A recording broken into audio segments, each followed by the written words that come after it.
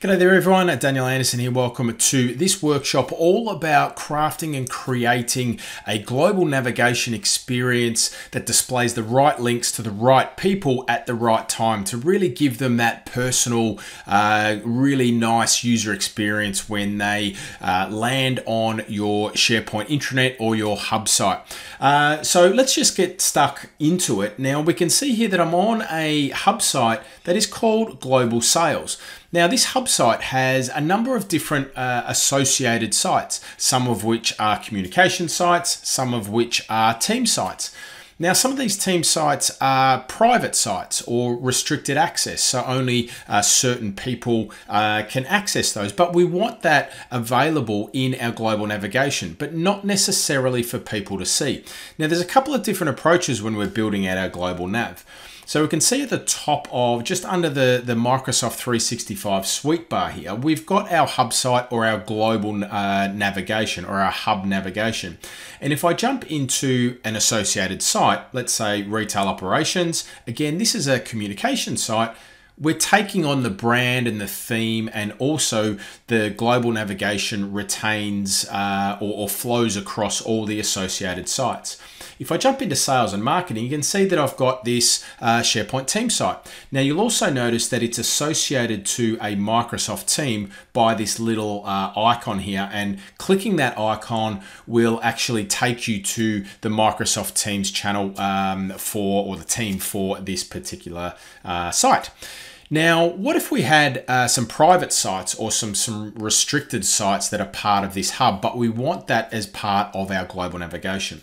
So what we can do is we can combine our global nav, so the, the security uh, that comes with the, uh, the membership of that group or that team, but we can also use audience targeting in our global navigation. So it will only show for the members of that particular team. Okay, so what we're going to do is we're going to take this sales and marketing um, uh, team as our example.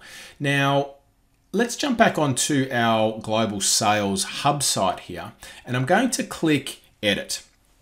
Now, what we can see in our panel on the left-hand side here is that we can enable site navigation audience targeting. All right, so it's off by default, but when we turn that on and hit save, that is going to allow us to audience target our links in our global navigation.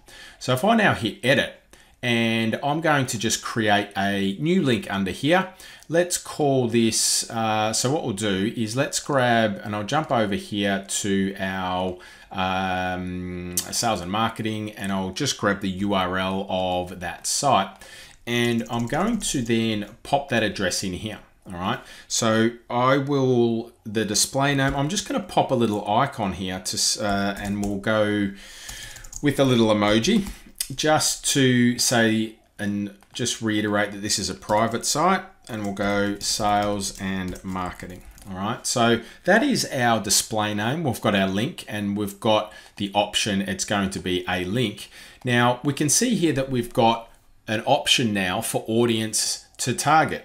All right, so if I pop in sales and marketing, what this will do is if I go sales, uh, sales and marketing members, all right? So what this will do is this will only show for uh, users that are part of that sales and marketing members group, all right?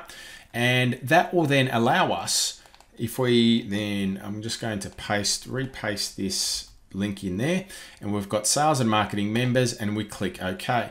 Now you'll also see that we've got this little uh, icon that appears next to our navigation item now. So that shows us that this link has been audience targeted. All right.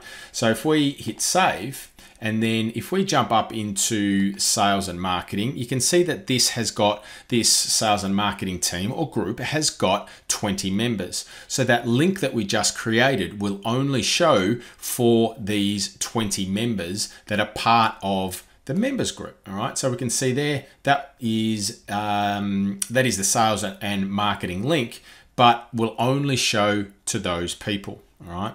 So if I jump back onto sales and marketing here, uh, what we might do is let's have a look at another user that is not part of this. So what we might do, let's get, um, let's remove Alex from this group. So Alex has now been removed and let's jump over to Alex's um, uh, browser and then we'll have a look and see what that experience is like for a person that's outside of that, uh, that members group.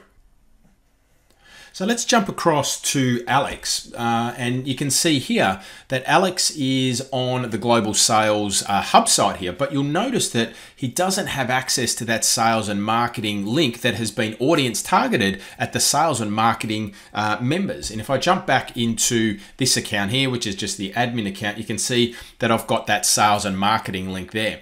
So we can craft, start to craft some really great user experiences uh, across the global navigation or any navigation, even the site navigation at the site level if we wanted to as well, enable audience targeting across there and really build a customized uh, um, navigation structure that really does only show the navigation items to the right people at the right time. So you're not inundated with big long lists of, of uh, drop downs and menus. You can really target those at specific people. And as an admin, you've got control over that. And when you hit the edit button in the navigation, you can see which links have been targeted at specific audiences as well.